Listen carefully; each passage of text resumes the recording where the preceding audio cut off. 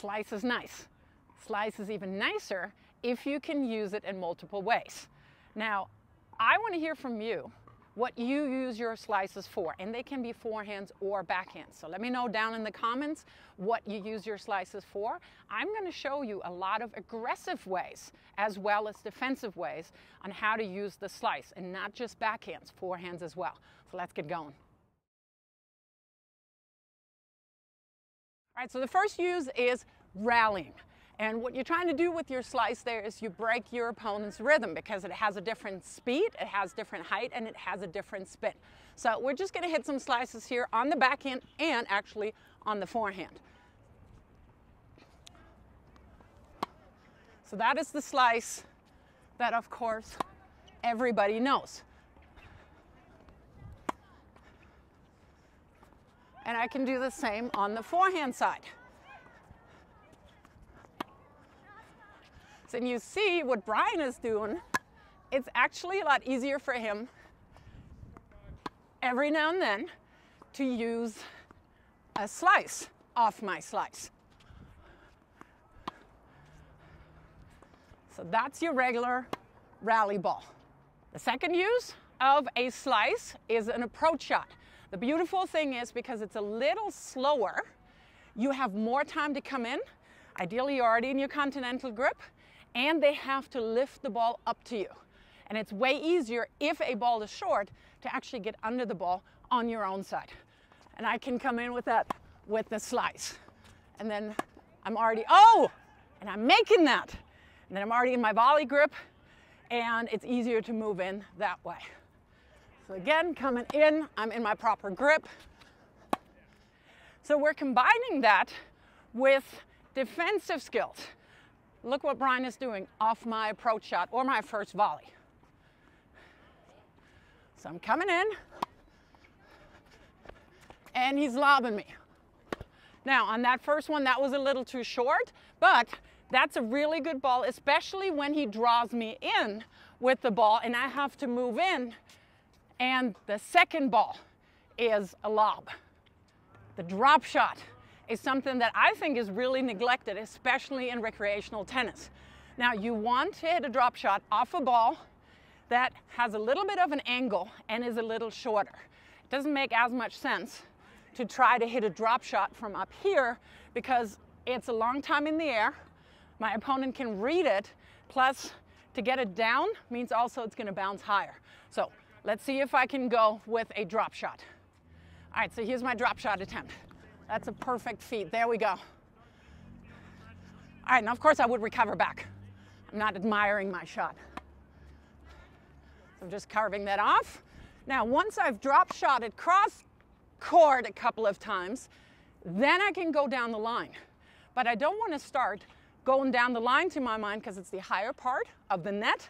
It's easier for the ball to really bounce up if I'm messing up a cross court drop shot at least it has an angle. But the goal for me, of course, is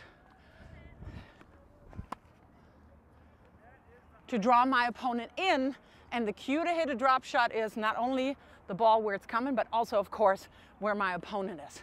So if Brian is 18 feet behind the baseline, it's a great opportunity to hit a drop shot. Another way to use your slice is there's so many, slice is great, is if you have somebody who doesn't like to come in or has a very, very deep court position is to deliberately chip the ball short. So it's not outright a drop shot. It's a little bit of a shorter ball. It's going to sit low, and I'm forcing my opponent to come up. So let's see how that goes. So let's say we're in a long rally, and I want the ball a little bit shorter. Do you see that? He is struggling big time. Ah, and then I missed that one. So I'm seeing that Brian is very far behind the baseline and I'm just chipping the ball short. I'm bringing him in, and then hopefully I have a better attempt on my passing shot. A variation of that is when I'm carving the ball off with an angle, because that's really easy to do. And let's see if I can do that on the forehand, because we don't see that as much. So again, Brian is very far. I'm not getting drop shot, but I'm angling him off. And that, of course, gives me a wide open court. And Brian is really nice. He's being very dramatic and showing the open courts. So let's see if we can do it on the backhand side. So again, I'm trying to angle Brian off. That's exactly what I want. See here? Wide open then, because it's difficult for him to choose, am I gonna come in with that ball, which is gonna take him a long time to come in, or am I gonna recover? But both times, the court is wide open. Another great use of the slice, of course, is defensive skills. So Brian is pushing me out wide, and I'm gonna hit my slice, and because it's a little slower, I have more time to recover. So it gives me a million years. Well, okay, maybe not quite a million years, but it gives me a lot of time because the slice is a little slower and also hopefully it gives my opponent a little bit of trouble because he can't quite get under the ball as naturally as he would when I'm rolling the ball. So let's try it one more time.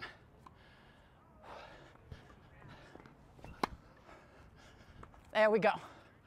And you know what? You can do the same on the forehand side.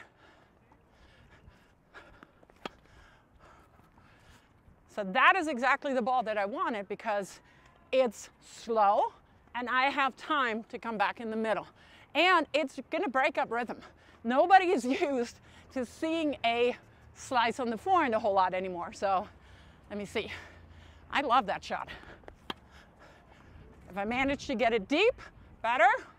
But if I manage to actually get an angle on the ball, a slice is a fantastic defensive tool right there.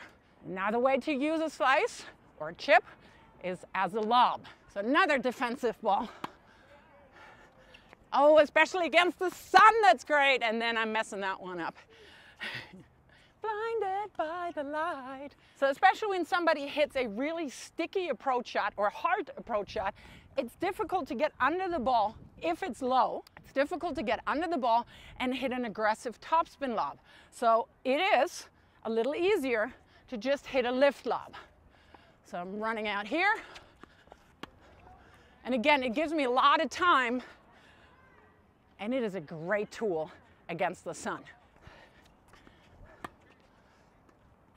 Oh, he's gonna go for the tweener. Another option of the slice or chip is when my partner, opponent, is coming in and I wanna keep the ball low to make him volley up to me. If I can't get under the ball with a topspin shot, I can dip it and it's a little slower so that I can hopefully out of a defensive position can get into a better defending position. So if I just dump that in front and then I can lob, that was lucky because I actually didn't change my grip. So Brian is coming in and I dink it in front of him and then, yeah, winner.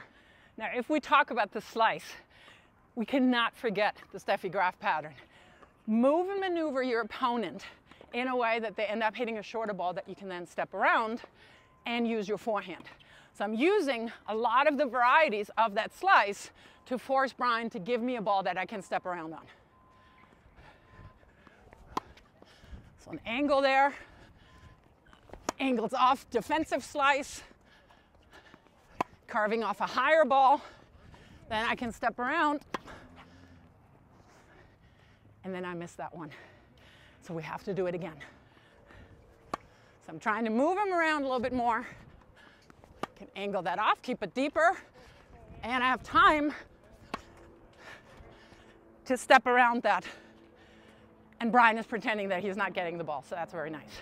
Using a chip return, block return, slice return, whatever you want to call it, if I have no time to get a big wind up in, or when I'm stretched, I switch into my continental and I block the ball back, chip it back. Again, to give myself more time and hopefully get into a better defensive position.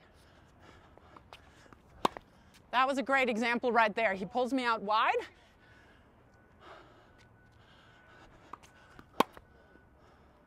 Perfect. Ooh, that was a lucky return, but it is so fast, his serve is so good that I don't have the time. I feel I can't really swing, so I'm just blocking it.